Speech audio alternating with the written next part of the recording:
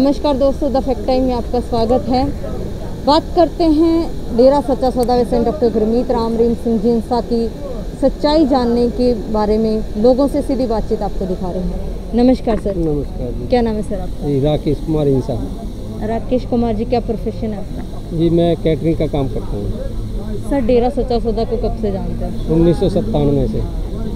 आज 2020 में क्या कहना है, सर, डेरा सच्चा सौदा के बारे में? डेरा सच्चा सौदा एक मानव भलाई, मानवता भलाई के कार्य करती है और ये एक ऐसी संस्था है जो हमेशा ही इंसानों को जोड़ के चलती है। हमारे यहाँ किसी धर्म जात से संबंध नहीं होता, ना ही ऊंच नीच से होता। हमारे यहाँ सबको समान भाव से देखा जाता है। और इसमें हमारी संस्था द्वारा 134 मानवता भलाई के कार्य किए जा रहे हैं, जिनमें से मैक्सिमम जो जिस योग्य है, वो उस सेवा को करता है। जैसे अभी ब्लड डोनेशन कैंप है तो मैं आज 42 यानी बयालीसवीं बार ब्लड डोनेट कर रहा हूँ। जबकि 2005 5 अक्टूबर को ही मैंने पहली बार ब्लड डोनेट किया था।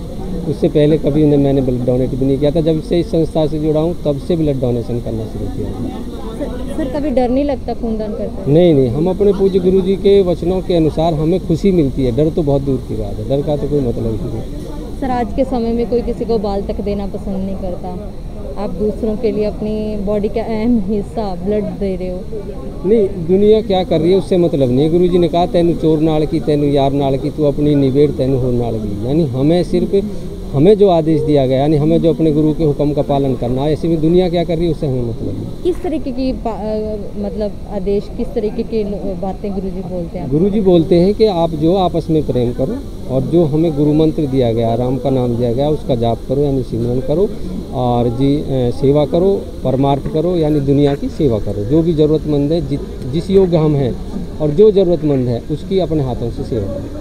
किस तरीके के काम गुरु जी ने समाज जैसे वृक्षारोपण हो गया और अभी ये थैलीसीमिया पीड़ित हो या आर्मी के लिए जहाँ भी मतलब खून की ज़रूरत पड़ती है हम खूनदान करते हैं। जैसे अभी रोड पर कोई कई बार एक्सीडेंट हुए हैं तो मैं खुद जाके एमएमजी हॉस्पिटल गाजियाबाद में ब्लड डोनेट करके आया हूँ। दादरी नवीन हॉस्पिटल में ब्लड डोनेट किया है। दिल्ली सफदरजंग हॉस्पिटल में ब्लड डोनेट किया है।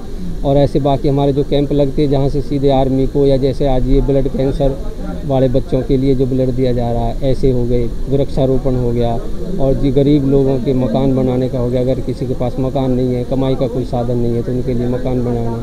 और कई बार ऐसा हो जा, होता है समाज में, विधवा औरतें होती हैं, उनकी बच्चियाँ जवान होती हैं, कमाने का साधन नहीं होता तो उनकी बच्चियों की शादी में सहयोग करना है, और जी दहेज से संबंधित है, समाज को जागरूक करना है, और जैसे अपने लड़कियों को अक्सर गर्भ में ही मार दिया जाता है तो उनके लिए आंदोलन अपना एक, वो चलाना, प्रचार करना कि भाई लड़कियों को गर्भ में ना मारो। अगर किसी के ज़्यादा भी हैं और फिर भी बच्ची है तो उसको हमारे